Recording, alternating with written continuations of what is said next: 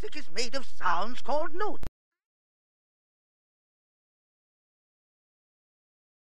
Take two, or three, or four. You can always add more. Follow the notes and you've got a song.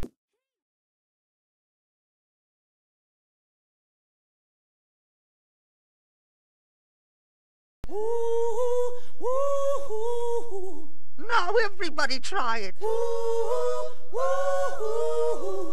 Great! Think of this tune when you're out on the street.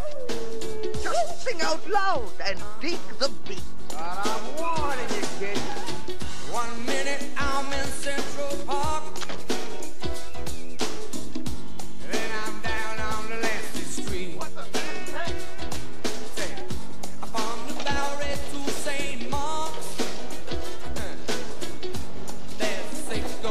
Crazy